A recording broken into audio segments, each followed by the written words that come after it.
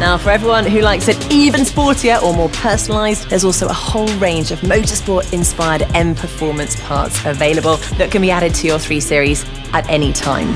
Take a closer look at some highlight parts from the M Performance range.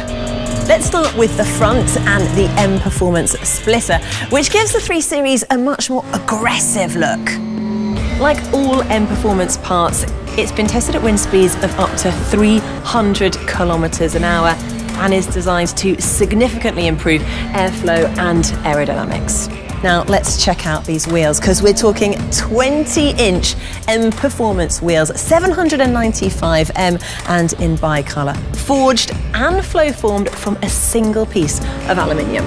Now that sporty look seamlessly continues down the rest of the side where the black high gloss M Performance side skirts and the frozen black films underline an overall dynamic appearance quite literally an eye catcher, are also the elaborately handcrafted M Performance carbon fibre mirror caps.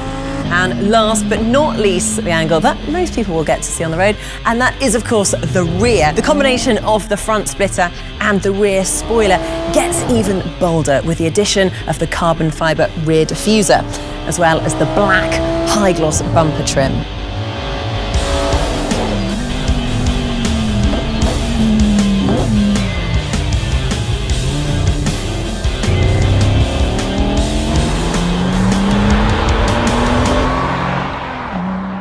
So now that you've learned how to sportify and individualise your all new 3 Series with M Performance parts, why don't you take some time to check out all the other goodies that it has to offer, like the design video just here. We've also got the intelligent personal assistant or the connected and driving assist features, or you could just check out the main film here.